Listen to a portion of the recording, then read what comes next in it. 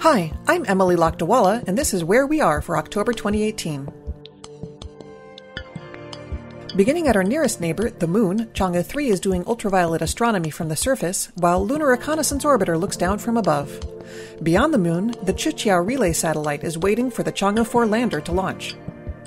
There are currently four spacecraft sitting 1.5 million kilometers closer to the Sun than we are at the L1 point.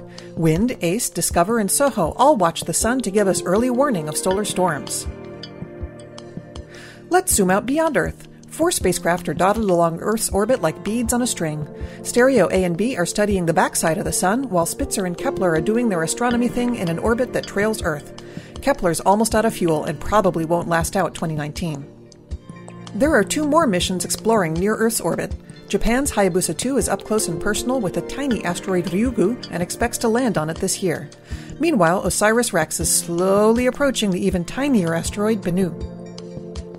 And here, Japan's Akatsuki is studying Venus. They recently celebrated their thousandth day in orbit. Now let's fly outward beyond Earth almost to Mars. InSight is barreling in toward its impending Mars landing. Already at Mars, there are eight more ongoing missions six orbiters from the US, ESA, and India, and two rovers. We don't know, though, if Opportunity is alive or not. Hang in there, little buddy, and call home soon.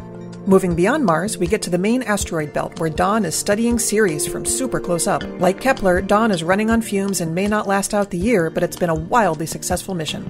Next stop, Jupiter, where Juno's orbiting over the poles, studying Jupiter gravity and getting fantastic photos.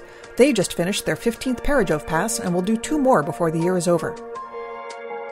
Unfortunately, there are no spacecraft at Saturn, Uranus, or Neptune, so our penultimate stop is in the Kuiper Belt, where New Horizons is fast approaching 2014 MU 69 for its New Year's Day flyby. They just caught their first sight of the very tiny, very faint, very dark target.